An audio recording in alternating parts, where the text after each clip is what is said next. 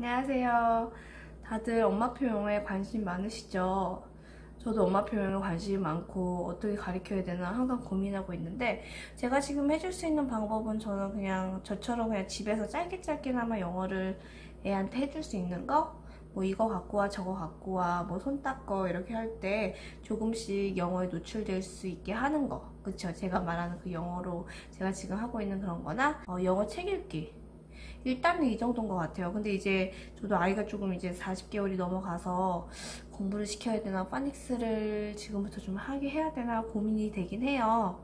그래서 제가 지금 인스타그램이랑 이 유튜브랑 같이 병행을 하고 있는데 그 인스타그램을 보고 이제 엄마표 영어를 딱 치시면 그에 관련된 그 태그를 단계 쫙 나오잖아요. 그래서 다른 분들은 어떻게 하시나 이렇게 보면 정말 깜짝깜짝 놀래요. 저는 저 나름대로도 그냥 집에서 영어 쓰고 이 정도면 괜찮다 영어책 읽어주고 하는 게 괜찮다라고 생각하는데 다른 분들 보면 정말 와 정말 대단하시다. 이렇게 열정적으로 정말 열심히 하시는구나 하시는 분들이 되게 많거든요. 이렇게 책 로그를 만들어서 날짜별로 어떤 책을 읽었고 뭐 며칠을 읽었고 여기서 배운 표현은 뭐고 뭐 이런 식으로 책 로그를 만들어서 기록을 하시기도 하시더라고요. 그래서 이건 정말 좋은 방법인 것 같아요. 그렇게 되면 이제 책이 겹치는 것도 없을 수도 있고 뭐 반복적으로 읽는 것도 좋아요. 근데 이제 한번 다 도는 것도 괜찮은 거잖아요. 그래서 이렇게 책을 기록해 두는 방법 이렇게도 열심히 해주시고 이렇게 다양한 교구, 뭐 아무튼 엄마표 영어로 굉장히 많은 노력을 해주세요. 그리고 또 어떤 분들은 뭐 본인이 영어 좀 안 되면 이제 어, 주부님들끼리 다 같이 소규모로 영어 그룹을 만들어서 공부를 하셔서 아이들한테 이렇게 말을 하시기도 하고 그리고 제 거를 구독하는 방법도 하나의 노력이라고도 할 수 있겠죠?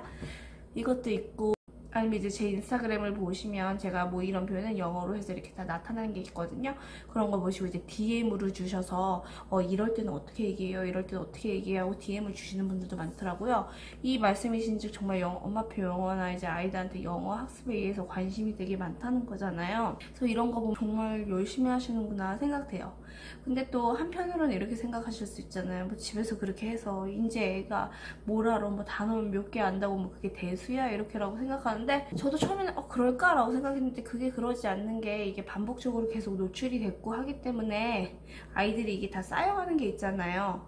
그래서 정말 나중에 커서 고학년이 있거나 어디 학원을 갔을 때 격차가 확 벌어질 거라고 생각해요. 그죠? 왜냐면 이 친구들은 어렸을 때 이렇게 된 게 있기 때문에 나중에 학습 효과가 더 빠르게 나타날 거라고 생각하거든요. 그래서 어렸을 때부터 지금부터 조금씩 아이들한테 노출해 주는 게 굉장히 좋은 방법인 것 같아요. 그래서 제가 생각하는 엄마표 영어는 어, 엄마들도 영어를 어느 정도 하셔야 된다고 생각해요. 영어 공부를 하셔야 된다고. 아, 근데 나 영어 못해요. 애들도 영어 못해요. 그렇잖아요. 애들도 영어 못하는데 나도 영어 공부하기 싫은데 애들은 하기 싫겠어요? 그 너무 배워야 돼 하고 애들 가르쳐 주시잖아요. 그쵸? 근데 엄마들도 영어를 해야 되는 게 왜냐면 애들 영어 배워오잖아요. 어린이집에서 뭐 짧게 색깔이라던가 뭐 이런 거 작게나마 배워갖고 오면은 집에서 가장 많이 대화하는 사람이 누구예요? 엄마잖아요. 그래서 엄마가 같이 배운 걸 갖다가 말 한마디라도 What color is this? What color is that? 뭐 이런 식으로라도 하면 아이가 거기서 배웠던 거를 집에서 또 한 번 쓸 수 있고 또 아이들은 또 자랑하는 거 좋아하니까 엄마 나 이거 무슨 색깔인지 알아? 그럴 때도 엄마가 Yes, this is blue 뭐, 뭐 이런 식으로 같이 한 번 더 복습할 수 있는 기회를 만들어 줄 수도 있는 거잖아요. 그래서 저는 엄마들도 그런 아이들의 배우는 그런 눈높이에서 영어 그런 거는 노출될 수 있게 조금씩 해주는 게 좋은 것 같아요.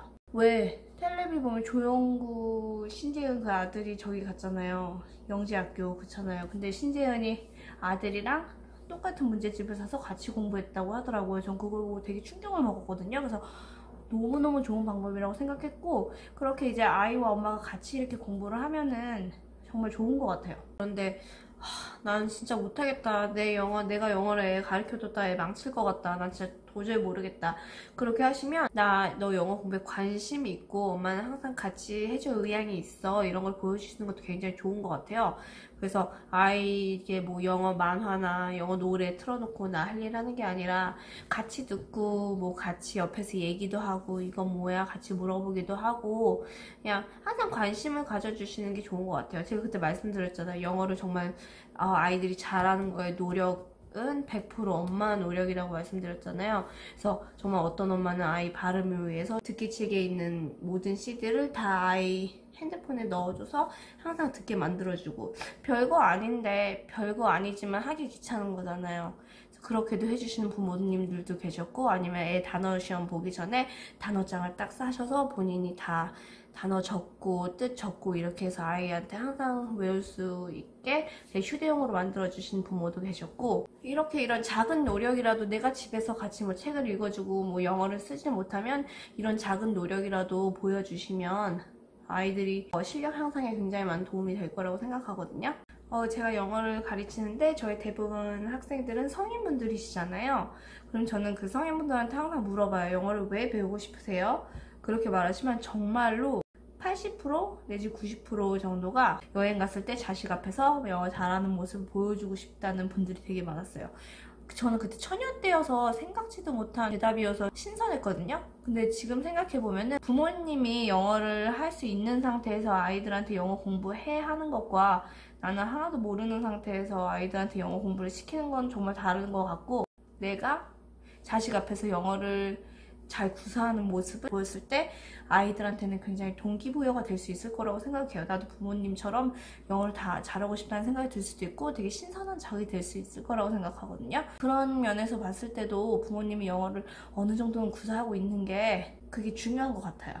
제가 제 인스타그램이랑 어, 유튜브 마랑 English를 하기 시작하게 된 계기도 어, 엄마표 영어를 위해서는 엄마가 어느 정도 영어를 해야 된다는 그런 마음에서 시작이 된 거거든요. 처음에는 제가 이렇게 말씀드린 뭐 어, go get him, go ask him if she's okay 뭐 이런 표현들이 어색할 수 있어요. 뭐 밖에 나가서 쓰기도 어색할 수 있고 집에서 아이한테 쓰기도 어색할 수 있고 나도 어색한데 듣고 있는 우리 애도 나를 어색해 할 수 있어요. 근데 이거를 그냥 정말 자꾸자꾸 말을 뱉어 보시면 어느 순간 내 입에 붙는 순간이 오고 그리고 저희 아이들도 마찬가지로 제가 이런 행동을 하면서 자꾸 말하면 이게 자꾸 보이는 거예요 아이도.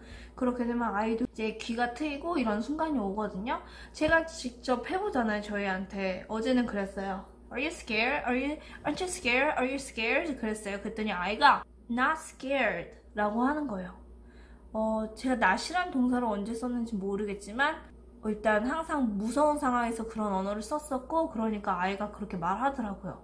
그래서 그런 걸 보면서 아 이게 정말 매일매일 꾸준히 하니까 효과가 있구나 하거든요. 그러니까 어머님들도 이거를 그냥 부끄러워하지 마시고 그냥 항상 써주세요. 그냥 항상 아이한테 이걸로 얘기를 해주시고 어색하더라도 그냥 일단 뱉고 계속 하고 이렇게 되면은 엄마한테도 영어가 붙고 아이한테, 도 그런 영어가 잘 들리기 시작하는 그런 순간이 오거든요. 그래서 꾸준히 반복적으로 해주시는 게 정말 중요해요. 그러면 이런 걱정도 하시는 분이 계세요. 그리고 또 영어책도 읽어주시고 영어책 읽어주면서 영어책 읽어주는 것도 좋지만 제가 아까 말씀드렸듯이 다른 엄마들 하듯이 이렇게 기록 기록해 놓는 것도 정말 중요하고 그런 걱정을 하시는 분들이 계시잖아요. 하, 내 발음, 내 발음 때문에 아이가 발음이 안 좋아질까 되게 걱정이 된다고. 그렇지 않아요. 왜 외국에서도 엄마 아빠 둘 다 한국 사람이에요. 근데 아이는 거기서 태어났어요. 그 엄마 아빠 계속 한국말 쓰고 아이한테 broken English 쓰잖아요. 아니면 영어 안 쓰고 한국말 쓰고 그런다고 걔 발음 나빠지는 거 아니잖아요. 그쵸. 그리고 제가 외국인 친구가 있는데, 뭐 외국인 만약에 남편이 있어요. 근데 제가 막 영어를 말도 안 되는 그런 영어를 이렇게 발음이 이상해요? 그렇다고 그 사람 영어 발음 나빠지는 거 아니잖아요.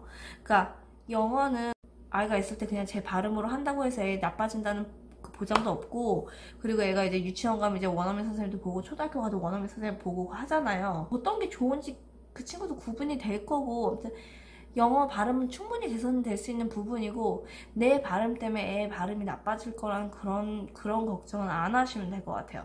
그냥 아이가 그냥 영어에 반복적으로 노출될 수 있고 어, 그런 환경을 만들어 주시고 영어 책 많이 읽어 주시고 나는 너 영어 공부에 굉장히 많은 관심을 갖고 있으니까 영어 만화를 볼 때를 같이 봐주신다던가 그냥 그런 그냥 최소한의 노력 그냥 그 정도만 해주셔도 저는 엄마표 영어가 다, 잘 돼가고 있는 거라고 생각해요. 음, 엄마가 이런 도움을 못 줘도 너한테 너랑 같이 해줄 수는 있어. 같이 시간을 보내줄 수는 있어.